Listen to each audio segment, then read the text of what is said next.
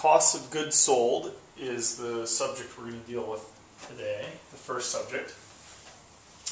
Uh, this is a phrase uh, that refers to the cost of creating the products that a company sells. This phrase is important because it's used in conjunction in a number of places. Um, when thinking about a company's financials, when thinking about their business model, uh, when trying to predict profitability.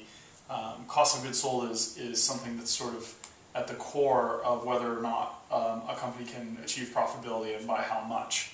Um, it also has a lot to do with inventory and calculating levels of profit, which we'll talk about in a second. Uh, so something that people should know uh, when examining their own companies. Again, it's the cost of creating a product uh, that a company sells, and the reason I underline creating is because uh, it's a summation of costs directly tied to production.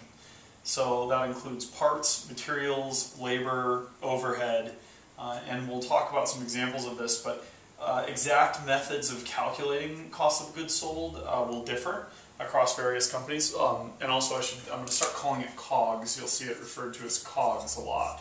So uh, uh, the exact uh, methods of calculation will differ, and we'll talk about some of those method, methods. Um, important to understand that the cost of selling, packaging, or shipping goods to customers are operating expenses that are related to sales. Those are not the cost of goods sold itself. A really simple way to think about it is just parts, material, labor, and overhead associated with the creation of the product. So um, it's slightly different for products that are purchased for resale. Um, you know, if you're purchasing a product either from a factory that you've contracted with, or if you are purchasing a product like a retailer would, um, from a manufacturer and then you're going to resell that product, it's slightly different. Uh, it, it, in this case, remember that it includes the purchase price, uh, which generally has all this stuff in, you know, put inside of it, and then also freight, customs duties, uh, and sales or use taxes. So, you know, if you're a company that's buying something from China to resell it, you're going to want to include freight, customs duties, and uh, sale or use taxes when calculating COGS. So one other thing, um, this appears on the income statement, the cost of goods sold. You'll see it um, once you get to know income statements, or if you do already uh, fairly well, it'll appear on the income statement, and we'll explain why. Um, the income statement is a look at a period of time, uh, and you know, watch our videos on the income statements to learn more about them. But uh, cost of goods sold are really important. Uh, it's sort of the cost of, of producing your products. So let's talk about um, cost of goods sold related to other metrics and why they're sort of important. It's one thing to know the definition. It's another to know, you know, what is it? What is cost of goods sold used in mathematically in other places in your business? Uh, the first and most obvious place is gross margin. Um, you know, if you'd like to learn more about gross margin, net profit, or some of the other things I'm going to mention here, watch the videos about these subjects. Uh, gross margin, simply and very quickly, is the revenue your company generates minus the cost of goods sold, remember, parts, materials, labor, overhead, divided by the revenue itself, and it's generally stated as a percentage. So if your uh, gross margin is 35%, um, you know, if, if you do a dollar in revenue, and it, you your cost of goods sold are 65 cents, then you're going to end up with 35 cents left over here for the business to work with. So you know, if it costs 65 cents to make your widget, you're selling it for a dollar, you've got 35 cents uh, of gross margin. If you divide that by a dollar, that's a 35% gross margin. So that's the amount of money your company has to play with uh, to do other things, to, to pay for operating expenses and other things inside the company. Um, so that's important to understand whenever, whenever someone asks, what's that company's gross margin, or what's your gross margin?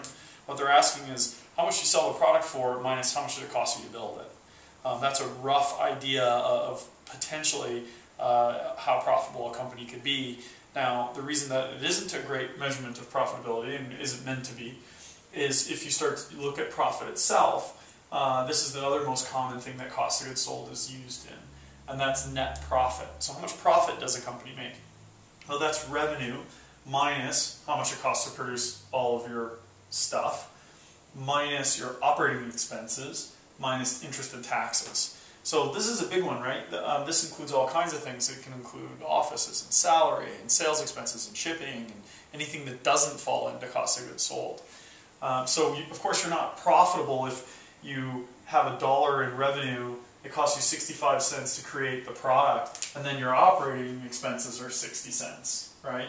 You wouldn't be profit profitable here because this is $1.25. You would have lost 25 cents in that case. So you can see how the cost of, I mean, this is sort of silly and everybody understands this, but the cost of creating your product directly figures into both gross margin and your ultimate profit, your net profit. So it's a really important number to track. Businesses are always, always, always trying to push that number down.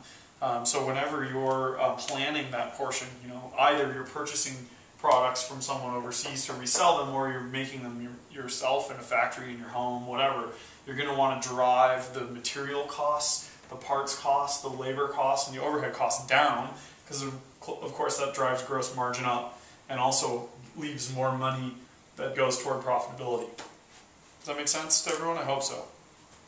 So um, there are different ways to calculate cost of goods sold.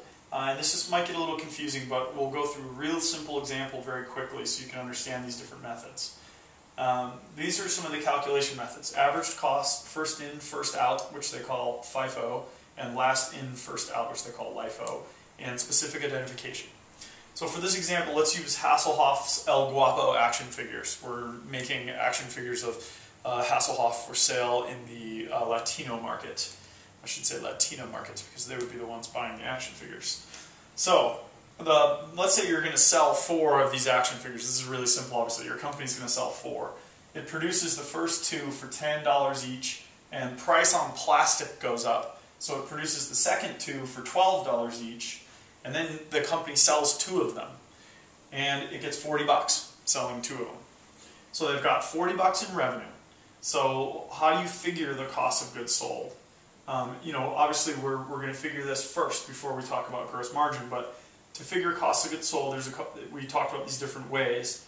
Average cost is what it sounds like. You take the average of how much it costs to produce all the units, divide by four, and in this case we sold two units, so that would be $22. So uh, our cost of goods sold, the two units that we sold, was $22. Let's say we sold this unit and this unit. $22 is the we figured using the average cost method.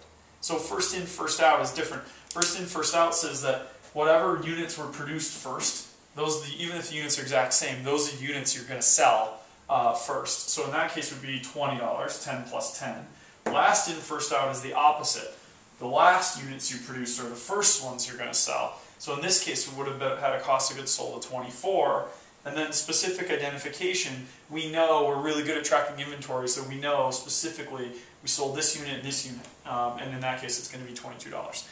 The reason why these, these methods matter is that you can, you'll notice if you do 40 bucks minus the, the cost of goods sold, we're going to get different gross margin or profit numbers, right? So uh, depending on how a unit wants to recognize that cost, and this has to do with taxes and with um, how much profit uh, or gross margin uh, they're going to report. So in this case, you know, you'd have $18 uh, worth of, worth of uh, profit. In this case, you'd have 20. In this case, you'd have 16 and 18. So these are pretty varied numbers for a company. So companies will choose, at least in the United States, which of these uh, methods they'd like to use. Um, and it can have really big implications on things like taxes. So depending on your operating expenses uh, and whether or not you want to drive a profit, because of course you pay taxes on profit. So uh, that's essentially cost of goods sold. It's one of the key core components on the income statement uh, that we use to determine how much it costs uh, in parts, materials, labor, and overhead to generate a product. Uh, and then we use cost of goods sold to figure gross margin, net profit, among other things.